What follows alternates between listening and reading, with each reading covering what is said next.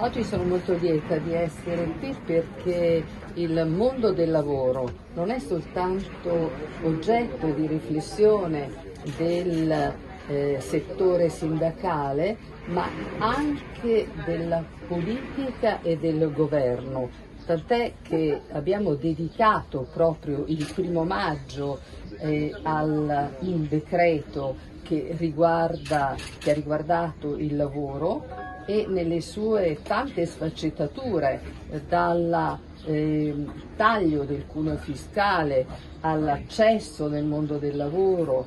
al contrasto alla povertà,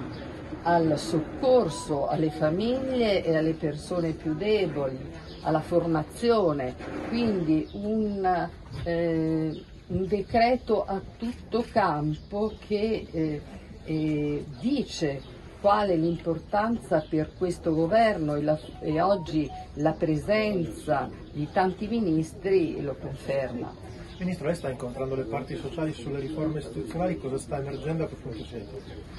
Beh, ho fatto un giro a tutto campo ed è emerso innanzitutto una convergenza sul concetto di stabilità, cioè della necessità che ci sia una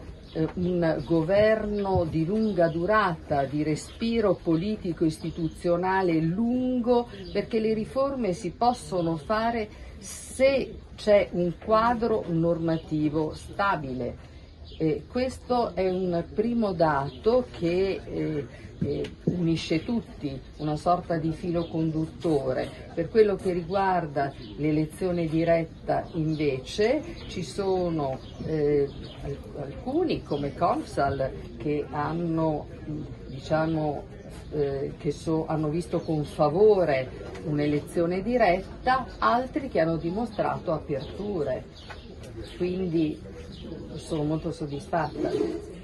E un'ultima domanda, dopo la scomparsa di Silvio Berlusconi, come sta Forza Italia? Ah, direi che sta molto bene, ma non lo dico io, lo dice il, il tesseramento che c'è stato in questi due giorni, sabato e domenica, che ha visto una partecipazione enorme eh, io sono il coordinatore di una regione molto piccola come la Basilicata, abbiamo registrato mille e sono tante in un sabato e domenica calda,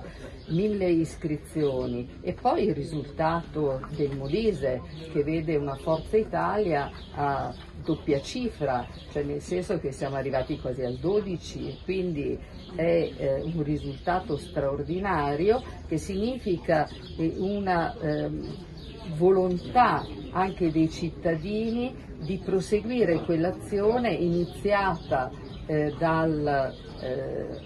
da un grande uomo, da un grande statista come Silvio Berlusconi, cioè proseguire e avendo metabolizzato tutti quei valori che lui ha dato, quella svolta che ha dato alla politica dove noi rappresentiamo una forza equilibrata e necessaria appunto anche e che si è dimostrata necessaria anche nella coalizione di questo governo.